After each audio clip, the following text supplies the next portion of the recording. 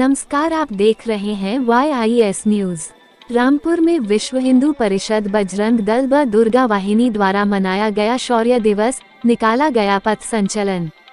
पथ संचलन में बड़ी संख्या में हिंदू संगठनों के पदाधिकारी व कार्यकर्ता मौजूद रहे। पथ संचलन रामलीला आदर्श कॉलोनी से शुरू होकर कोसी मंदिर उत्सव पैलेस विद्या सरस्वती मंदिर पर जाकर समाप्त हुई।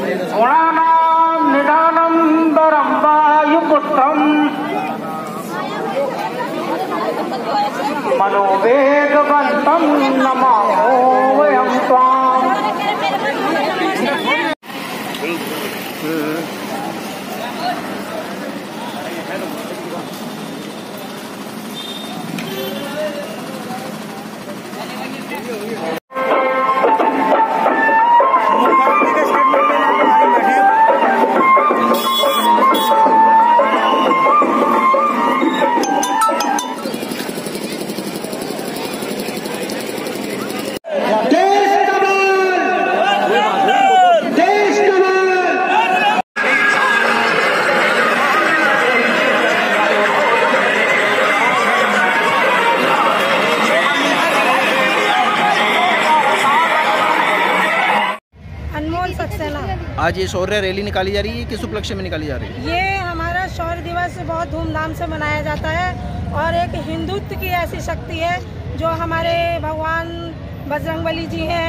वो वो भी एक, उनकी एक मिसाल है। उन्होंने हमारे समाज के लिए एक भक्ति का अपना जागरूक जो है, उनकी जो भक्ति है वो ऐसी है जो इसकी तुलना नहीं हो सकती। वही हम, ये जो शौर्य दिवस है हमारा, एक ताकत और विशाल रूप में, भक्ति के रूप में, एक शौर्य के रूप में, एक माताओं बहनों की जो सुरक्षा करते हैं, इस उसमें हमारी आज ये शौर्य दिवस निकल रहा है और हम बहनें सब उनका सम्मान करने के लिए यहाँ पर खड़े हैं। विश्व हिंदू परिषद दुर्गा वाहिनी, स्वागत कर रही है हमारे बजरंग दल वाले भाइयों का। ये रैली हम ए, हर साल निकाली जाती है? हर साल निकाली जाती है बहुत हर साल उल्लास के साथ निकाली मुख्य अतिथि के रूप में कौन आते हैं? मुख्य अतिथि के रूप में हमारे प्रांत के पदाधिकारी आते हैं जिनका बजरंग दल के जो प्रांत के पदाधिकारी हैं वो लोग आते हैं।